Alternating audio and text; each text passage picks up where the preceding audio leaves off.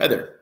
Um, just touching base, kind of going over some different things on uh, NFTs, uh, what an NFT is, why would you purchase an NFT?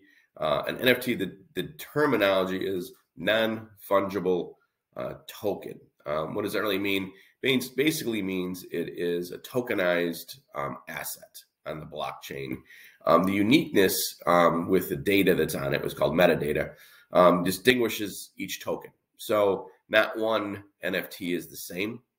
Um, where a Bitcoin or another form of cryptocurrency is fungible.